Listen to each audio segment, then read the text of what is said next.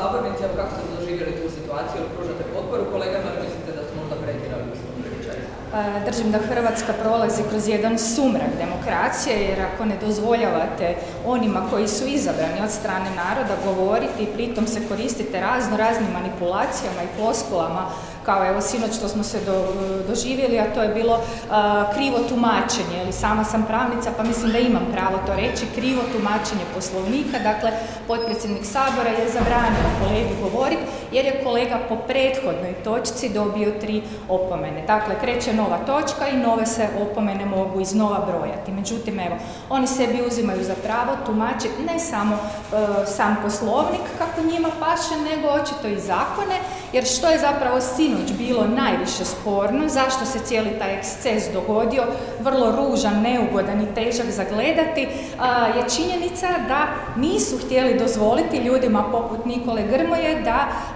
iznosi iz samog izvješća detalje, a radilo se zapravo o 2019. godini kada je bivša povjerenica gospođa Nataša Novaković konstatirala detaljno sve probleme kroz koje je prošla nakon što sami predstavnici vladajuće stranke, uključujući i premijera, nisu htjeli dostaviti, dakle oglušili su se na njen poziv u dostavljanju dokumentacije kojom bi elaborirali zašto su putovali u Helsinki kao stranka na konvenciju Europske pučke stranke i to toliki broj njih, znači na račun građana Republike Hrvatske, plaćen je zrakoplov, plaćen je njihov hotelski smještaj, plaćeni su ručkovi, dnevnice i tko zna kakve još bakanalije. To je nedopustivo.